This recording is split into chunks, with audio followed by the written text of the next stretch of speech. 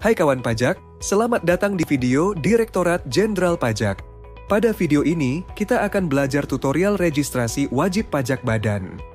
Saat ini, Cortex tersedia dalam dua bahasa, bahasa Inggris dan bahasa Indonesia. Pada video ini, kita akan membahas terkait tutorial registrasi wajib pajak badan yang disampaikan dalam menu Cortex berbahasa Inggris.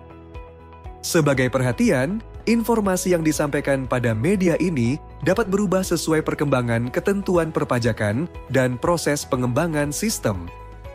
Ini adalah halaman awal untuk masuk ke akun wajib pajak kita.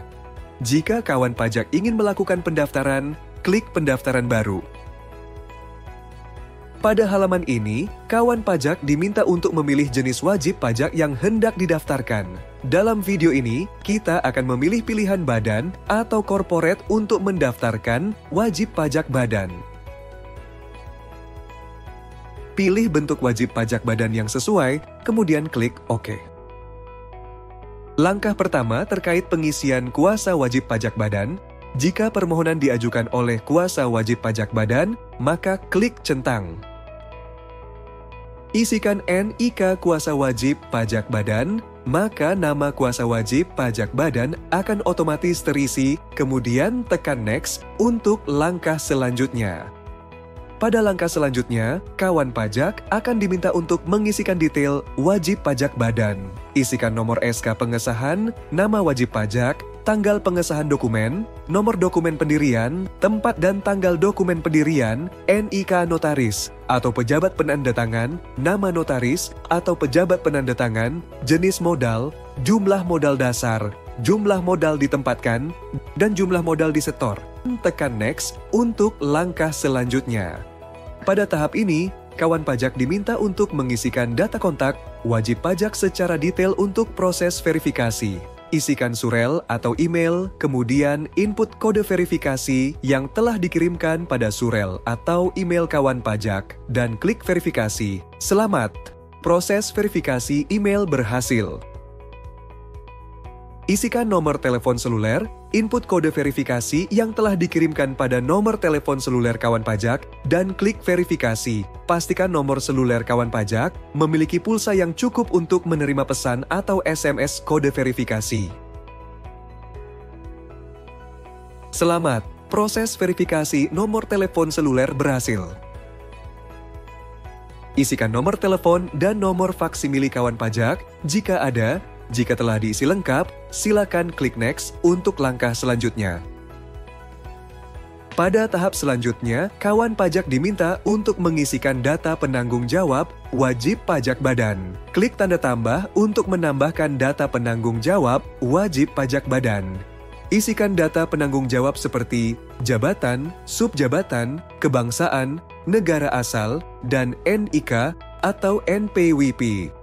Kawan pajak harus memastikan bahwa penanggung jawab telah terdaftar dalam sistem administrasi Direktorat Jenderal Pajak. Selanjutnya data seperti nama, nomor paspor, surel atau email, dan nomor telepon seluler akan otomatis terisi. Kemudian, klik Save untuk menyimpan data penanggung jawab. Lakukan kembali langkah yang sama untuk menambahkan data pengurus lainnya. Tahap selanjutnya, kawan pajak diminta untuk mengisikan data wajib pajak yang terrelasi dengan kawan pajak, misalnya grup perusahaan. Klik tanda tambah untuk menambahkan data wajib pajak yang terrelasi dengan kawan pajak. Isikan data NIK atau NPWP wajib pajak, nama wajib pajak, dan hubungan wajib pajak. Kemudian, klik Save untuk menyimpan data wajib pajak yang terrelasi dengan kawan pajak. Lakukan kembali langkah yang sama untuk menambahkan wajib pajak lainnya yang terrelasi dengan kawan pajak. Pada langkah selanjutnya, kawan pajak diminta untuk mengisikan data klasifikasi lapangan usaha. Wajib pajak harus mengisi satu klasifikasi lapangan usaha sesuai kegiatan usaha yang dominan atau utama. Dalam hal terdapat kegiatan usaha lain, dapat ditambahkan lebih dari satu klasifikasi lapangan usaha tambahan. Pertama-tama cari kode klasifikasi lapangan usaha yang sesuai pada kolom pencarian. Isikan deskripsi usaha kawan pajak, isikan merek dagang atau usaha, dan apabila wajib pajak badan memiliki pegawai, silakan klik centang memiliki pegawai. isikan jumlah pegawai yang dimiliki, jumlah peredaran bruto satu tahun, jenis metode pembukuan, mata uang pembukuan, dan tahun buku. Klik Next untuk langkah selanjutnya. Selanjutnya, kawan pajak diminta untuk mengisikan data alamat wajib pajak badan.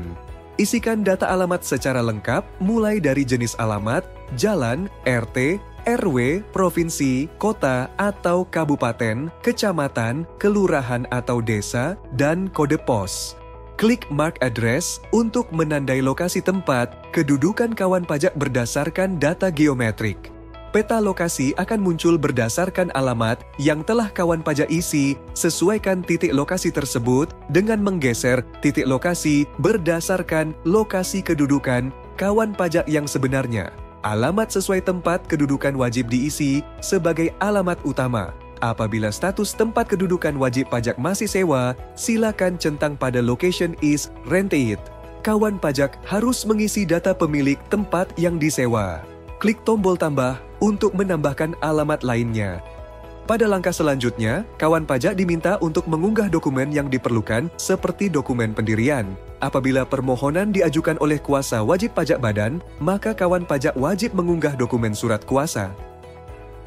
Pada langkah terakhir, kawan pajak diminta untuk mengonfirmasi pernyataan, klik tombol konfirmasi sebelum melakukan submit permohonan pendaftaran. Selamat, anda telah berhasil melakukan permohonan pendaftaran. Cek secara berkala pada email Anda untuk mendapatkan notifikasi.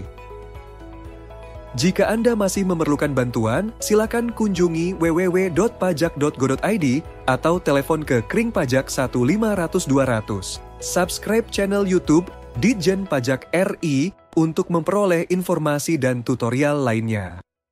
Pajak Kuat, APBN Sehat.